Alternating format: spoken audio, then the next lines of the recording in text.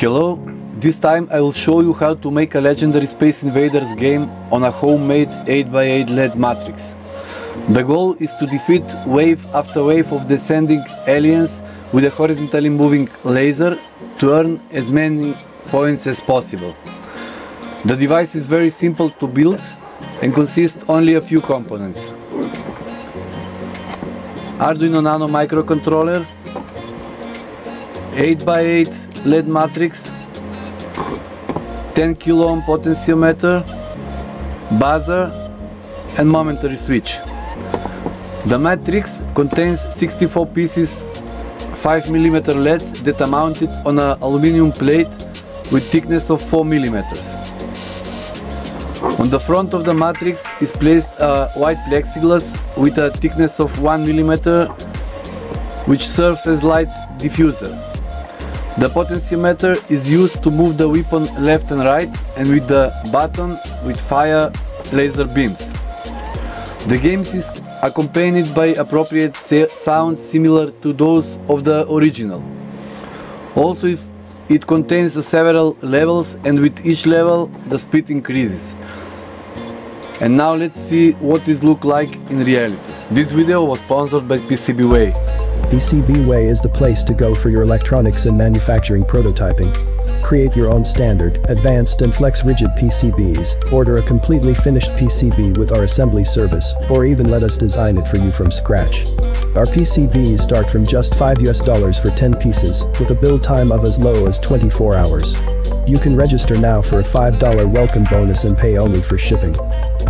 PCBWay also offers rapid prototyping services for manufacturing, with our CNC machining, sheet metal fabrication, injection molding and 3D printing capabilities, PCBWay is a one-stop shop for your prototyping needs.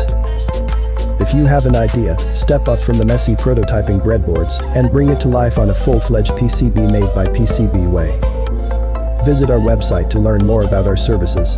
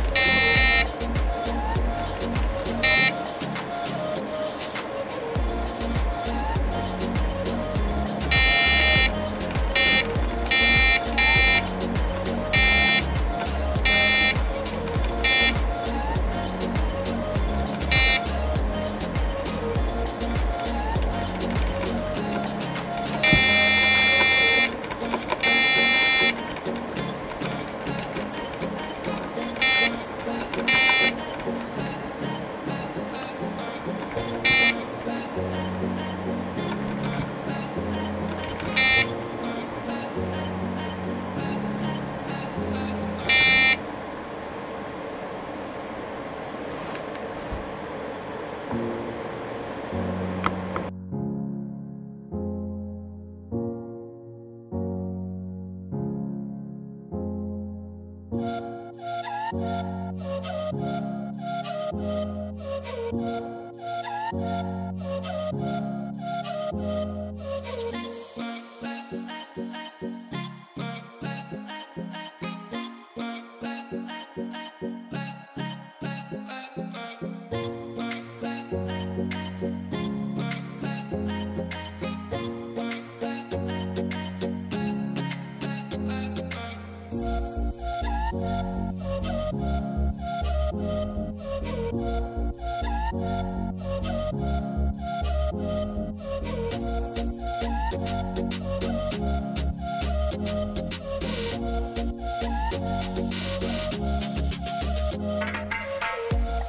Bye.